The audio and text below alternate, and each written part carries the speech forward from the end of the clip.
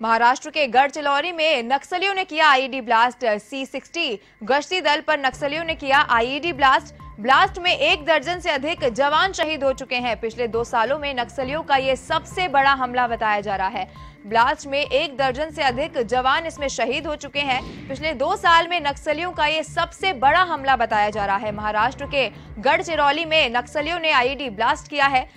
C sixty गश्ती दल पर नक्सलियों ने आईडी ब्लास्ट किया है और ब्लास्ट में एक दर्जन से अधिक जवान भी शहीद हो चुके हैं। और पिछले दो सालों में नक्सलियों का ये सबसे बड़ा हमला बताया जा रहा है। महाराष्ट्र से आपको खबर बता रहे हैं, जहाँ नक्सलियों ने आईईडी ब्लास्ट किया है। सी सिक्सटी गश्ती दल पर नक्सलियों ने आईडी ब्लास्ट किया है। और ब्लास्ट में एक दर्जन से अधिक जवान शहीद हो गए हैं।